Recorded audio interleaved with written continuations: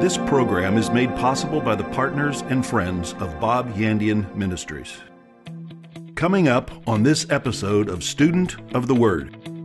The Word of God should become part of your daily life and taught on an everyday basis because understand this evil is present every single day. The communication of the world to your children is every single day. It's in every song, it's in every movie, it's in everything, every game they play, all these different things. They're surrounded by evil. We are not designed as Christians to isolate our children from the world. We are taught to insulate them from the world. The world's going to be all around them, but to have a filtering agent on the inside of them to where they they can say yes, yes, no. They know immediately where the deception begins because they understand the Word of God. For more than 40 years, Bob Yandian has been an expositor of the Bible, making seemingly complicated doctrine easy to understand.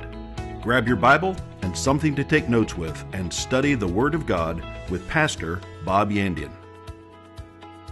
Hello and welcome again to Student of the Word with Pastor Bob Yandian. So good to have you here today.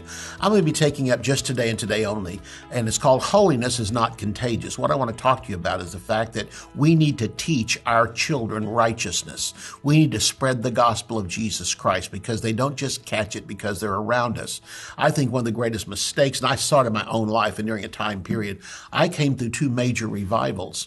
And I was born at the time when the first revival was going on, which is the uh, the healing revivals of the late 1940s into the early part of the 1950s, and Oral Roberts and T.L. Osborn and A.A. Allen and others were preaching at that time and ministry and affecting our nation like never before. And so after that time period, not that many years later, at the end of the 1960s into the 1970s, starting about 1968, the charismatic movement came along. At that time, there was a great emphasis, not only just one subject of healing, but on the, the gifts of the Holy Spirit. And what we saw at that time was something that just shook Pentecostal people to the core. And that was other denominations were being filled with the Holy Spirit. Catholics were being filled with the Holy Spirit, of which even at that time, uh, Christians who were Pentecostal didn't even believe that uh, uh, a Catholic was saved because they believed in Mary. But yet many of them were. They put their full trust in Jesus Christ. And so, uh, again, Methodists, Baptists, there was even such a thing called Bapticostals. There were so many Baptists speaking with tongues. It shook their denomination across this country. This was happening by droves. But somehow, even though we went to meetings a lot, we took our children to meetings, but our children sat in children's services and things like that. It was brought them on their level, but there wasn't that much instruction and teaching in the, in the, in the Word of God in the home and this is the major emphasis of the Word of God, is teaching your children. That's why I'm offering the book on Proverbs. The key phrase in the book of Proverbs is my son. It starts out with my son, and it covers it throughout the entire book. And the point of it is, is that Solomon wrote the book, but it was instruction from his father. The reason why that Solomon was successful because the, uh, he was taught the Word of God as uh, David had not done with Absalom and Adonijah. They became, they became failures. Even both of them tried to surmount and overtake David and destroy his kingdom and take it from him.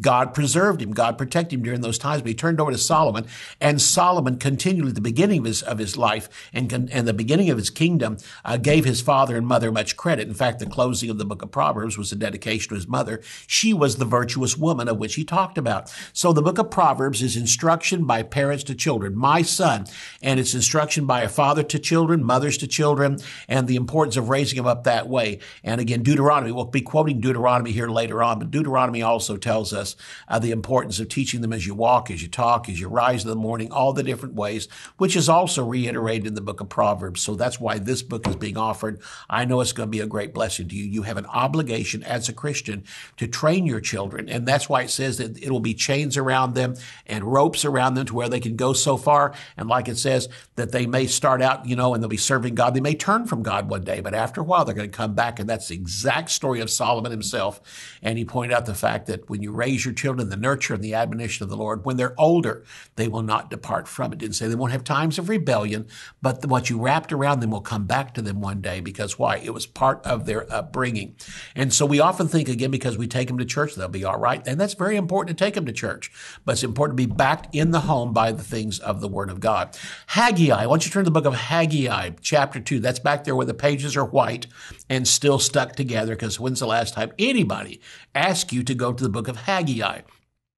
Haggai was written by a prophet, and also oftentimes the spiritual prophets would be preaching to the unspiritual prophets as we come down to the closing of the Old Testament, and we have there uh, Malachi, and Malachi gave much instruction to the uh, to the priests of his day and the prophets of his day for turning the people away from God. So in Haggai chapter two, look at verses eleven through fourteen. We're going to take this kind of slow so you'll understand it. And here Haggai says, "Thus says the Lord of hosts." Asks the priests concerning the law, saying, or ask them this, if one carries holy meat in the fold of his garment, and with the edge of the garment he touches bread or stew, wine or oil, or any food, will it then make it holy? In other words, if I'm carrying holy meat with me, which is consecrated to the Lord, and it's touching my garment, they even point out that the, the anointing can be in the garment. But if the garment just happens to bypass and just touch bread, stew, wine, oil, or any other food, will that food then become holy? And the priest answered and said, no, of course not. Then he says, ask this question. And Haggai said in verse 13, if one who is unclean because of a dead body touching any of these, will it be unclean? In other words, if an unclean person touches anything, does it all of a sudden become unclean? So the priest answered and said, it shall be unclean. Then Haggai answered and said, so is this people, and so is this nation before me, says the Lord, and so is every work of their hands and what they offer there is unclean. What he's saying is understand this. If I'm carrying something clean and I touch something, will it automatically change unclean things to clean things? They said, no, that's not how it works. He said, okay, if I am unclean or carrying something unclean and it touches something, if it touches something good, will that thing I'm touching good suddenly become unclean? He says, yes. What he's simply pointing out is this, is that contagious Holiness is not contagious. Evil is contagious. Holy things can touch unclean things, but it doesn't make them holy.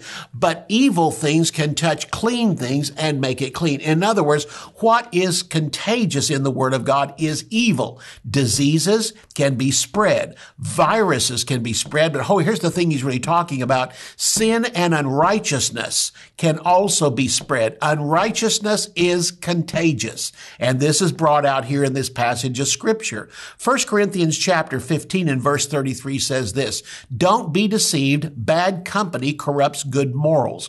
I've seen it happen among young people. I've seen it happen among people in the church. You know, the Bible says we're not to be friends with the world. We're to be friendly with the world. Understand that you're not going to win them unless you win them by being friendly. In other words, the old thing of, you know, that uh, honey will win, uh, will change more than, you know, uh, than, than sour things or not, whatever the statement is. I don't remember quite. Um, but anyway, you'll win more with honey. And what's simply saying is with the world around us, be kind, be generous, be gentle to them. Jesus was, but Jesus also didn't make those his friends. Even though he hung around them at times, they were not his friends. His close friends were the 12 disciples. And also sometimes he had some close friends around him, Mary, Martha, and Zacchaeus. Jesus had friends around him, close friends that were not part of the disciples. And so Lazarus and Mary and Martha were his close friends. Whenever he was by, we'd go see them. But again, he didn't make friends with the world. And that's what we're warned about in the book of 1st and 2nd Corinthians. Strong admonition to not become friends with the world. Strong admonition in the book of James as James admonishes his congregations not to be friendly with the world. And so again, 1 Corinthians 15, 33, I just quoted it, but again, do not be deceived. Bad company corrupts good morals. Even as a Christian, when you're living for the Lord, if you hang around bad people all the time, it's not the fact that you will affect them, they will affect you. So again, it's easy to fall into sin, but you don't fall into righteousness. Righteousness is not something you just fall into. It's something that must be taught and must be practiced and grows in strength around you until one day the force of righteousness in you is so strong that you can be tempted and not fall for it. This is why righteousness takes a while. Righteousness is instantaneous when you get born again in your spirit, but a life of righteousness takes a walking in it every day. Come out from among them, be separate, says the Lord. Touch not the unclean thing. I will be your God. You will be my people. So it comes back to the old statement, a good apple will not make bad apples good, but a bad apple will make good apples bad. And so again, good friends will not make you good, but evil friends can make you evil. So it simply comes back to it again. This is what the Lord is directing in these verses of scripture. This is why I teach the word of God. I raised our children not only on taking them to church, which was important, getting them involved in children's church, which was important, and a good youth group, that was important, but we backed it up with teaching in the home. And it's not that we got up every day at a particular time, had a Bible study. I know this is what a lot of people do. They have family altars. This is wonderful. But we didn't do that because it's not commanded in the Word of God to have a time during the day. What is commanded in the book of Deuteronomy is make it part of your life. That when you run across things, discuss it. We'd sit down to watch TV and some of the programs we picked, you know, it says it was all right for children, but they would have some bad things. It would have some twisted things in it. It would have some liberal thinking put into it. And we would often warn the kids, kids, we know that's wrong. Let me tell you the scripture on why that's wrong. We didn't turn it off and suddenly curse that program. We let our children understand they're going to be facing these things for the rest of their lives, but they have to have discernment. And that discernment came from parents. So that when we taught this every day in the family, then one day as they left the house, they could take it with them. No longer did they have mom and dad around them to discuss it, but the word of God became like a parent to them. And it says in the book of Proverbs, it will wake them in the morning, talk to them as they travel protect them as they go. And this is what the Word of God is to do. When you raise them up in the proper way and teach them in the Word of God and back it up with a lifestyle and back it up with a teaching, we would talk about not only at the, at the time of watching TV, but around the dinner table when we ate at home. Wasn't that often. I was a pastor. We ate out a lot, but we would talk around the table of the things of God. And we would talk about food. We'd talk about praying over your food. We'd talk about, we'd bring up friends. What'd you go through today? And we would talk about it from the area of the Word of God. We didn't preached to them. We made it part of life. They not only uh, heard that, but they saw it. Uh, the Bible says, you know, the husbands and wives ought to love each other. So we would hug each other. My wife and I hug each other. We'd kiss each other. And I mean, the kids would often go, ooh, you know, but you know what? They watch. This is what a, a father and mother is supposed to do.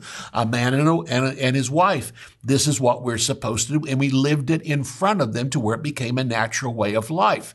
When I'd come home, I'd hug my wife. We we would get into arguments at times, but we did in a back room where they couldn't see it, they couldn't hear it. I never beat her, I never hit her.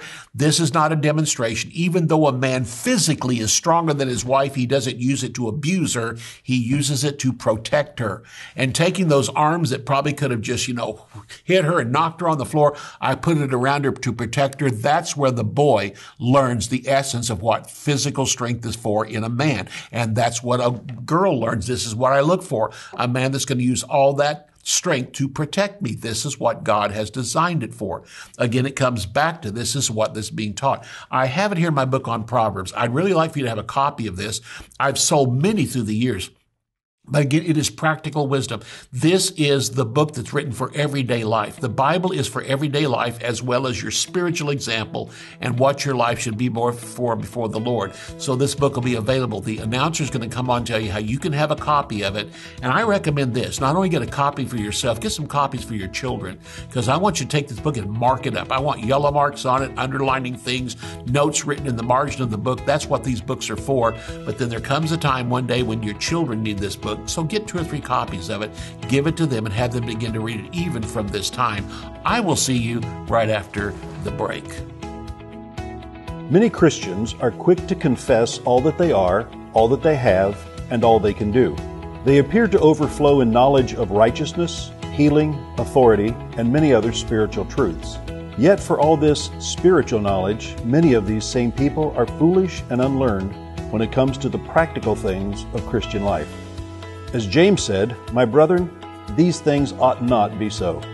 The book of Proverbs is a prime source of the wisdom we need for daily existence, and a close study of it is well worth our time and attention. In Proverbs Wisdom for Today, Bob Yandian discusses what wisdom is, its benefits, how to find it, where it comes from, and how to receive it in order to help you live a life of wisdom. To order Proverbs Wisdom for Today, visit our website at bobyandian.com. Bob Yandian Ministries is training up a new generation in the Word of God. Because of your generosity and faithfulness, this teaching ministry is able to change countless lives. You will never know until you get to heaven how many people received Jesus, were filled with the Holy Spirit, healed, or found God's will for their life through your support and prayers. If you would like to become a partner with Bob Yandian, visit our website at bobyandian.com and click on Partnership. Pastors, if you would like to schedule Bob Yandian to speak at your church, event, or conference, go to bobyandian.com forward slash invite. I want to go back to a verse we just left off with, and that's in 1 Corinthians chapter 15 and verse 33. And again, we're talking about the fact here in these verses of scripture that uh, holiness is not contagious. Righteousness is not contagious. Sin is contagious. Evil is contagious, but righteousness needs to be taught, instructed, because again, we don't just fall into these things. We don't just fall into righteousness. You can fall into sin, but you don't fall into righteousness. That takes a conscious decision because the world is pulling you all the time toward unrighteousness. In 1 Corinthians 15, 33, do not be deceived. Bad company corrupts good morals. We talked about raising your children correctly and right uh, in their life. And until the time they are out from under your roof, someone needs to make the instruction too. As for me and my house, we will serve the Lord. That was Joshua that said that. Husbands, Fathers, it's time to stand up and make that choice. As for me and my house, we will serve. Well, I don't know if I should, you know, my kids have a, they, they have a will of their own, not while they're living under your house as far as following the Lord. As long as they're in that house, they'll serve the Lord. Well, if they decide to rebel from it after they get out of the house, well, hang on. If you, if you put the word of God in them, the word of God promises when they're older, it shall, they will not depart from, they'll come back to it. And we see this so often in life. Ministers I know that rebelled, even raised under some of the best households, rebelled when they got out of high school, thought my parents were just trying to put big clamps on me. I could make up my own mind, ran out into the world and figured out a little while later, mom was right, dad was right. And that word began to bring them back. And they ended up being tremendous ministers. Some of the best ministers today came out of a strong rebellious backgrounds. But we raised our children that way. My son is a minister of the Word of God. My daughter's married a wonderful man. They're raising godly kids. And they look back on their life and they're raising their children in the same way to talk about it. Not just bring a particular time of the day when you teach on it and make that your time. And that's all right to have a particular time of Bible study with your family, a family altar, but to make it part of your life because Jesus Christ wants to be part of every decision you make. And this is what we taught our children as they were growing up. And so this is what happened. You know, coming back to this, I trust you'll get this book, but understand this. Your children are your legacy in the next generation. I had a minister tell one time, I want to affect the next generation with my ministry. Well, then put that into your kids. Your kids carry that on to the next generation. And uh, this is what children are for, that God is having us raise children, is they become the ministers and actually take what we have taught them and increase it into the next generation.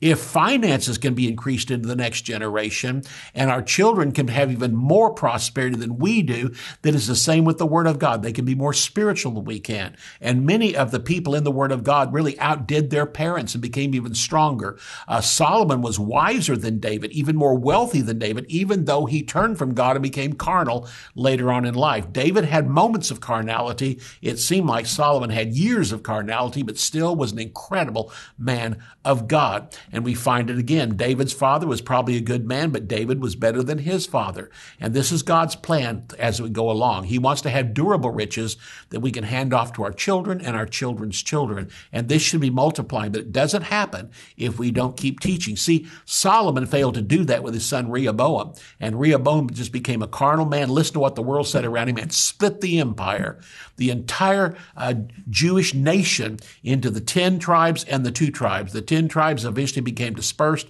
and the two tribes that continued serving God, the southern kingdom, Judah, they were blessed. Why am I saying all this? Because again, it's important in your life that you do this. And so again, thank you for it. And by the way, for those that are watching right now that are partners with me, Thank you a lot. We're here today because of you and the power of God. If you'd like to become a partner, go to bobyandian.com. You'll find a place there on the website where you can become a partner with me. So, a carnal believer in this world imitates unbelievers. Let me say this that if you hang around people that are unbelievers, if you live a strong lifestyle, you can influence them. Okay. But if you don't live a strong lifestyle, they're going to be the ones that will pull you in. And it works that way every single time. Again, that verse we read, don't be deceived. Bad company corrupts good morals. Look at Ephesians chapter 5 and verse 14. Again, here we find a carnal believer imitates the unbeliever. But the pressure is there. If you become friends with the world and not only just, listen, friendly is fine. That's how you witness them. Friendly with your working people around you. But to become friends with them means you hang out with them. God wants your main hanging out to be with Christians. Those are part of the church. Those that understand the eternal things that you'll spend eternity with. Ephesians 5:14 says, "Therefore he says, awake, you who sleep, arise from the dead, and Christ will give you life." The one who is asleep is a carnal Christian. Notice, but he's sleeping with dead people. Arise from the dead, and the word simply means that a, that a carnal Christian is asleep among dead people. If you walk out to a hundred dead people, but one of them is sleeping, you have to check real close for signs of life. Look to see if he's breathing, put your finger under his nose, see if you can feel the air coming out. I mean, you have to look for the slightest little things, and that's what it is with a carnal Christian. Carnal Christians have very little evidence of being born again, except little twinges now and then. We see this with the prodigal son who ran from the house and he ended up living with sinners. He ended up in a pig pen. And that it goes on to say, they're awake you that sleep. And finally, this kid who was asleep among dead people, eating husk just like the, the sows did and the pig in the pig pen, he came to himself. He woke up and he stood up and said, you know what? I will return to my father. And when I get there, I'll say this. Well, he did. He returned to his father. This is what happens because the son was raised raised right, but one day just took it on himself to rebel, and he did. Righteousness does not beget more righteousness. Sinners bring sinners into the earth. Here's the other point. Righteous people bring sinners into the earth. Your children are not righteous because you're righteous. Sin is the overwhelming power in this earth because Satan uh, came, tempted Adam and Eve, and they came into this earth, and their children were born sinners. Sinners begat sinners. But righteousness is around them and the word of God is around them and there's people preaching around them.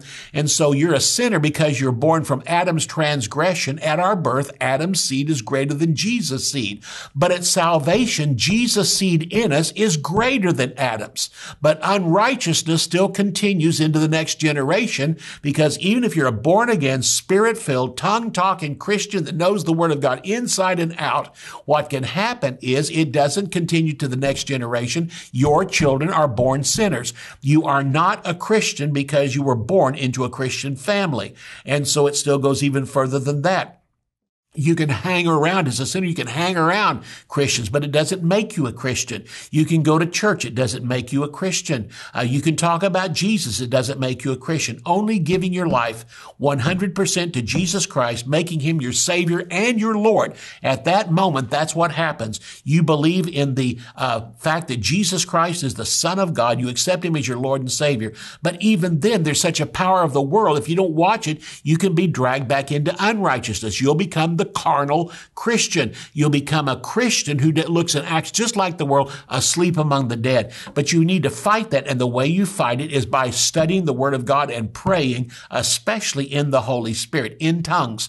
When you study the Word of God and apply it to everything in life, it gives you power to overcome it. And eventually, after you walk in it enough, you have a power to daily walk free from it. In other words, you're walking on water. Walking on water becomes such a common thing that you don't even think about it anymore. You've been walking on water for so long, you don't even think about it. You've been swimming upstream according to the world so long, you don't even think about it. Salvation and righteousness is usually shared from one person to another. This is called the Great Commission. But daily righteousness, discipleship can be shared person to person, but mainly comes from a minister to a congregation. The daily righteousness we walk in can be written in a book and we study it. It can be shared across a lunch table from Christian to Christian, or it can be watched on with television. But again, the main thing that comes back to it is it's taught in a church service. We see the man at the gate beautiful in chapter three of the book of Acts. And the man was there. He'd been laid there for a long time. Peter came along and John came along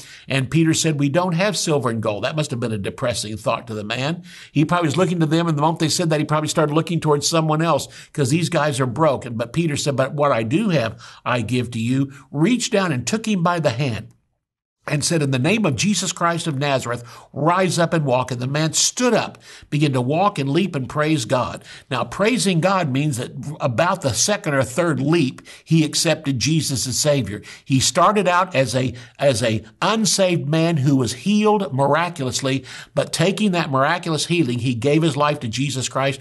And as soon as he went walking and leaping and then praising God, he accepted Jesus. The next phrase says was he followed them into the temple. That should be the strongest thing. Why? Because if we're not to fellowship with the world, who do we have fellowship with? We fellowship among those that are in church. We're to do good to all men, but especially those of the household of faith. This is where our close friendships are made from righteous people in this earth who follow Jesus Christ on a daily basis. And that's how we grow in the things of God. We study it personally from the Word of God and we hang around people that believe it and, and act on it and operate in it every single day.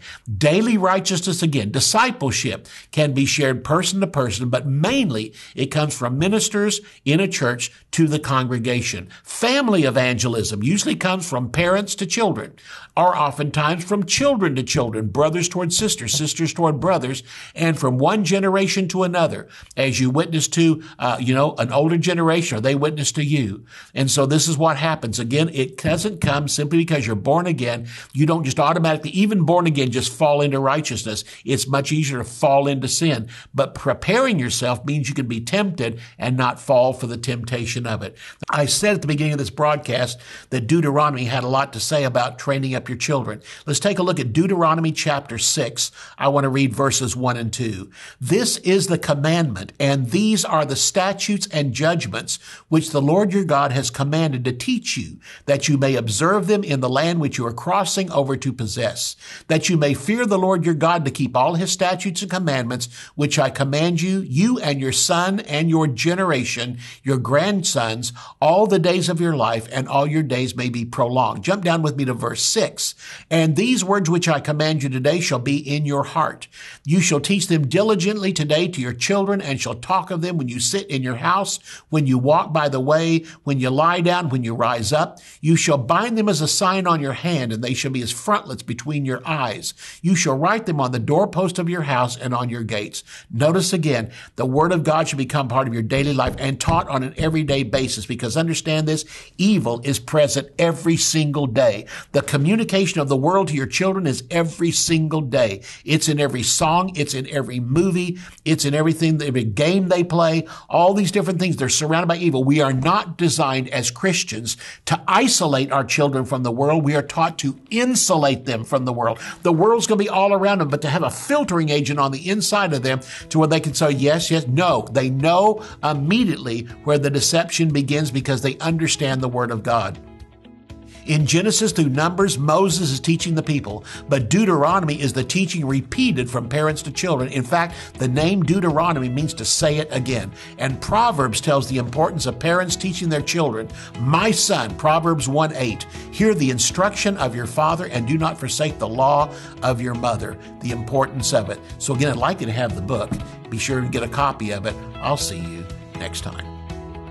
You can order resources become a partner, or browse free articles and podcasts by visiting our website at bobyandian.com. You can also join our mailing list and receive weekly devotions and the latest ministry updates. If you would like to contact Bob Yandian Ministries, visit bobyandian.com and click on Contact. To contact us by mail, use the address on your screen. Thank you for watching today's broadcast. We'll see you next time on Student of the Word with Bob Yandian.